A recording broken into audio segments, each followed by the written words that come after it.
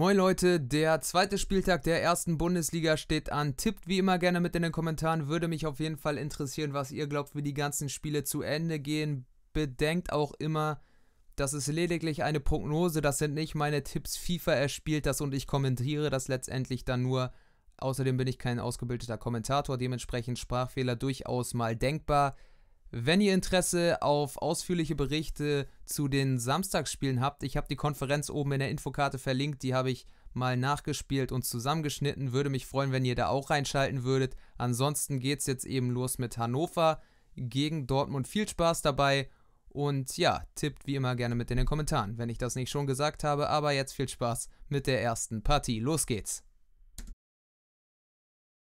Zum Auftakt des zweiten Spieltages der Bundesliga war Hannover 96 der Gastgeber in der HDI Arena für den BVB, die gegen Leipzig überzeugen konnten. Letztendlich souverän mit 4 zu 1 gewann, auch wenn die Deutlichkeit des Ergebnisses etwas über den Spielverlauf hinwegtäuschte. Hier hatte Hannover die erste Möglichkeit. Wallacey ist das nach sieben Spielminuten sehr auffällig der Neuzugang vom HSV in dieser Partie. Hier muss Birki nicht eingreifen. Aber auch Dortmund konnte Akzente nach vorne setzen. Keine 10 Minuten gespielt. Dann ist das Marcel Schmelzer auf Maximilian Philipp. Der aber nur das Außennetz trifft. War gegen Leipzig noch etwas glücklos geblieben. Nicht sein Tag gewesen. Hier zeigte er von Anfang an, dass er aber bereit ist, seine Position auszufüllen. Halbe Stunde gespielt, Eckstoß von der linken Seite, super reingetreten und am zweiten Pfosten fällt dann Diallo der Ball auf den Kopf und das 1 zu 0 für Borussia Dortmund. Erstes Saisontor für den Innenverteidiger, drückt den Ball über die Linie, sorgt es im Endeffekt noch mit dem Kopf dran, aber kann es nicht mehr verhindern. Das war jetzt die beste Phase der ersten Halbzeit und Axel Witzel konnte sogar noch das zweite machen. 36. Spielminute das 0 zu 2 Hannover wurde überrumpelt. Dortmund war hier qualitativ mittlerweile eine Stufe drüber. Und vor der Pause gab es nochmal die Möglichkeit. Marco Reus alleine auf dem Weg vor Michael Esser stehen und der Abschluss gar nicht verkehrt. Esser mit einer überragenden Tat ist noch mit den Fingerspitzen dran und verhindert so das 0 zu 3 vor der Pause, sodass im zweiten Durchgang noch zumindest denkbar gewesen wäre, das 1 zu 2 und das 2 zu 2 möglicherweise zu erzielen. Und Hannover spielte auch nach vorne. Nach 54 Minuten ist das Niklas Füllkrug mal wieder mit einem Abschluss. Der wäre auch vorbeigegangen, abgefälscht, kein Problem für Birki. Hannover 96, aber weiterhin gut in der Partie und die Möglichkeiten wurden nicht kleiner. Bebu nochmal mit dem Abschluss, Schmelzer schmiss sich rein. Birki, tolle Doppeltat, besonders der erste Schuss, klasse pariert. Viertelstunde noch vor Toreschluss. Nochmal die Möglichkeit Asano, aber es sollte irgendwie nicht sein an diesem Freitagabend. Dortmund in der ersten Halbzeit konnten sie diese Partie gewinnen. Im zweiten Abschnitt war es nicht mehr sonderlich stark, was die Schwarz-Gelben aufs Feld brachten. Und dennoch konnten sie relativ souverän als Sieger vom Platz gehen. Durch zwei schnelle Tore im ersten Abschnitt gewinnen sie aber auch nicht unverdient zum Auftakt des zweiten Spieltages. Das Topspiel des zweiten Spieltages lautete VfB Stuttgart gegen den FC Bayern München. Am letzten Spieltag der letzten Saison gewann die Stuttgarter mit 4 zu 1 gegen Bayern und hier traten sie auch durchaus selbstbewusst aus, auch wenn sie durchaus in den letzten Partien nicht so gut drauf waren. 1 zu 0 gegen Mainz verloren, im Pokal gegen Rostock rausgeflogen. Hier bewiesen sie erstmal etwas bessere Moral und auch ein gutes Spiel, aber Bayern eben nicht zu verhindern. Das ist Ayen Robben Klasse Schuss, aber ganz knapp auch vorbei. Viertelstunde gespielt. Zieler wäre hier wohl ohne Möglichkeit gewesen. Der typische Robben, nur diesmal schlug er nicht im Winkel ein. Der FC Bayern übernahm jetzt die Partie. Wieder im Strafraum. Franck Ribery ist das. Legt ab Martinez, aber etwas glücklos. Trifft den Ball nicht optimal und dementsprechend geht er relativ weit über den Kasten hinweg. Weiterhin der erste Durchgang. Das 0 zu 1 war jetzt eigentlich eine Frage nur noch der Zeit. Wieder Arjen Robben, wieder Arjen Robben und Lewandowski scheitert am überragenden Ron-Robert Zieler. Klasse Tat, eine super Partie des Stuttgarter Hintermanns. Super Reaktion, fährt den Arm aus und verhindert das 0 zu 1. Aber im zweiten Durchgang änderte sich das Bild dennoch nicht. Sie waren eigentlich gewarnt, die Stuttgarter, und dennoch konnten sie es nicht verhindern. Erstmal Ron-Robert Zieler, der den Ball hier vielleicht auch komplett klären kann vielleicht komplett klären muss. Und dann ist Thomas Müller da und schiebt den Ball ein. 51. Spielminute, das 1 zu 0 hochverdient für die Münchner Gäste. Es kam, wie es kommen musste, die nächste Möglichkeit und das nächste Tor von Ribery 2 zu 0 für Bayern. 57 Minuten gerade mal von der Uhr und die Partie schien jetzt im zweiten Durchgang innerhalb kürzester Zeit schon entschieden gewesen zu sein. Der FC Bayern München hörte nicht auf und wollte den nächsten Treffer erzielen. Lewandowski auf Müller und das nächste Tor geschah auch. 66. Jetzt war es endgültig klar. Die Partie hat ihren Sieger gefunden, auch wenn Stuttgart nochmal vieles nach vorne tat. Es war letztendlich etwas zu glücklos. Süle dazwischen, Askar mit dem Abschluss. Aber eben nicht der erwünschte 1 zu 3 Ehren- oder Anschlusstreffer. Es gab aber auch nochmal den Eckstoß. Auch der wurde nochmal gefährlich. Gentner aber für Neuer auch keine größere Aufgabe, sodass Bayern im Endeffekt hochverdient mit 3 zu 0 gewinnt. Auch die Höhe ist in Ordnung. Stuttgart hat sich lange Zeit mit diesem 0 zu 0 sehr gut geschlagen, aber dann brach es über sie im zweiten Durchgang herein.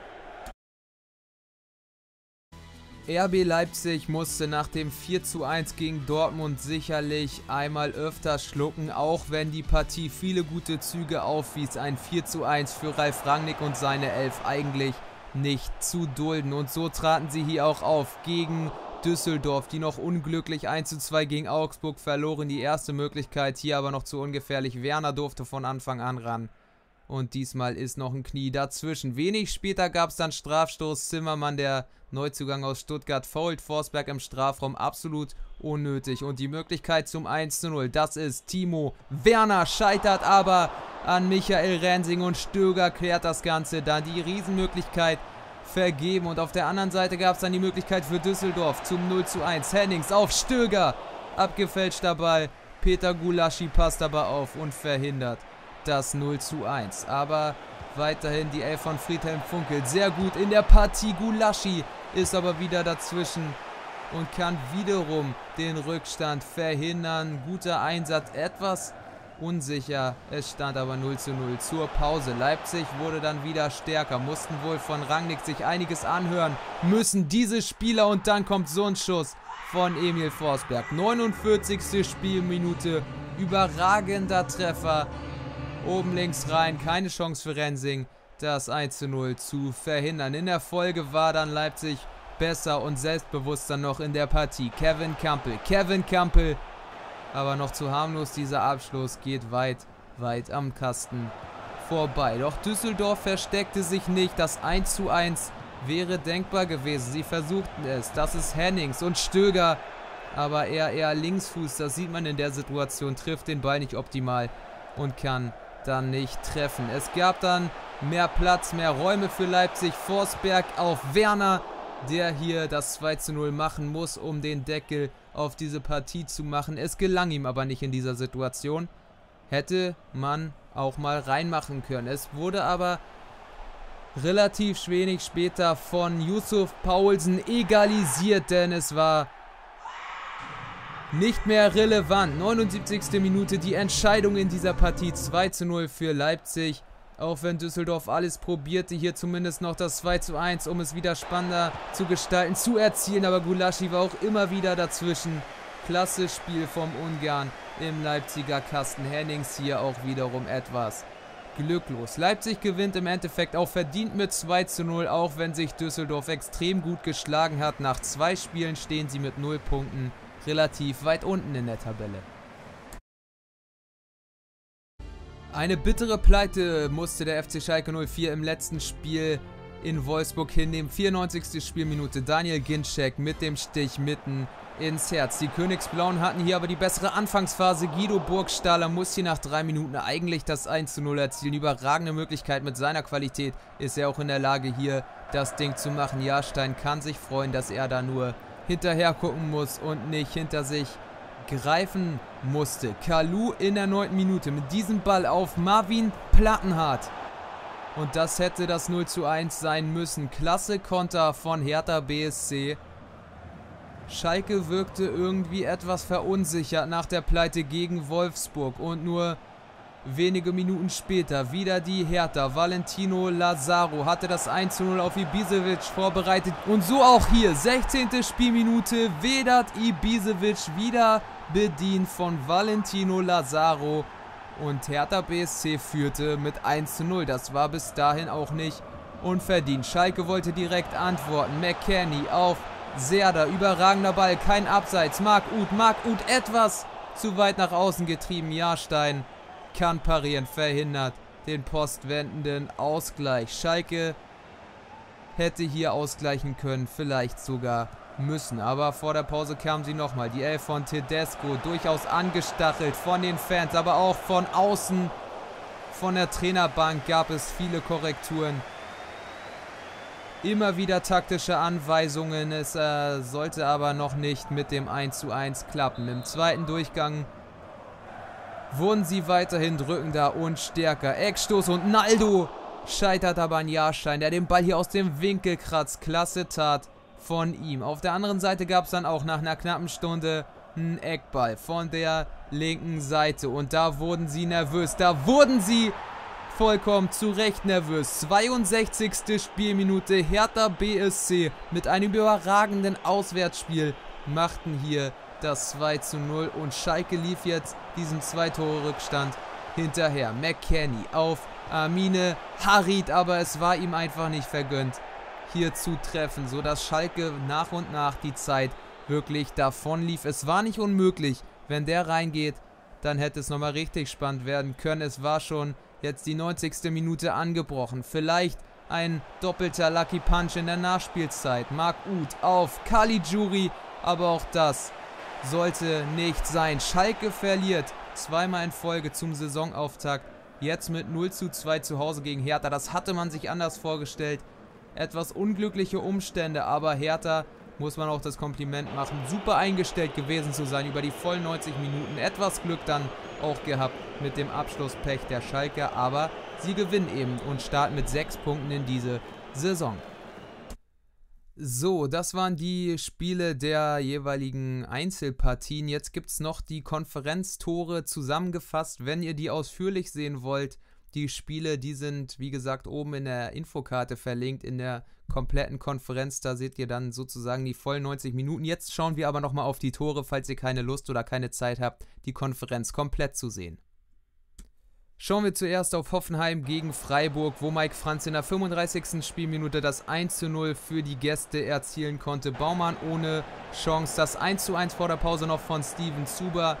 Machte den Ball mit dem rechten Fuß unten links rein. Aber vor der Pause nochmal Freiburg. Chico Höfler.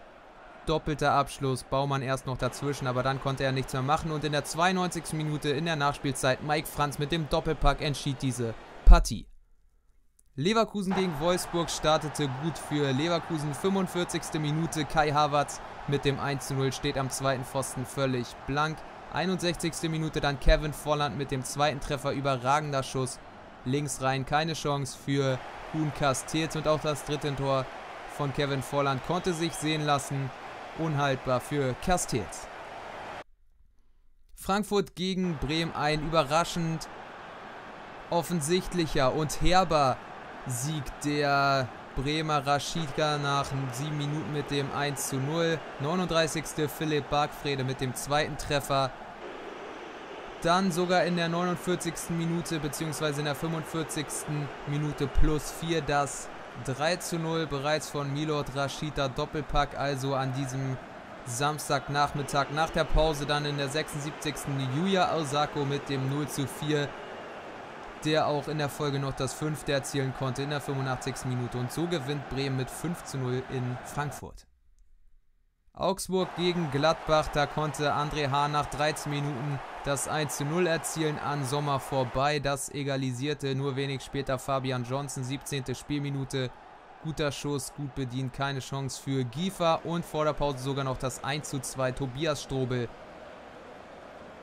gegen Giefer etwas mit Glück, der noch dran war. Bei Nürnberg gegen Mainz ging es in der zweiten Halbzeit los. Jean-Philippe Mateta, der Neuzugang mit dem 1 zu 0 und sogar das zweite Tor von Pablo de Blasis eine Viertelstunde vor dem Ende hier sorgt aber noch nicht für Beruhigung, weil Nürnberg nochmal rankam. 79. Yuya Kubo ist das, der den Ball reinmachte, aber letztendlich hat es nicht mehr gereicht. So, und jetzt seht ihr nochmal im Überblick alle Ergebnisse. Tippt wie immer gerne mit in den Kommentaren und bedenkt, es ist lediglich eine Prognose und es sind nicht meine Tipps. Das ist von FIFA erspielt und hat meistens relativ wenig mit der Realität zu tun. Ansonsten, wenn es euch gefallen hat, würde ich mich über eine positive Bewertung und oder ein Abo freuen. Ansonsten, vielen Dank fürs Zuschauen, bis zum nächsten Video und ciao.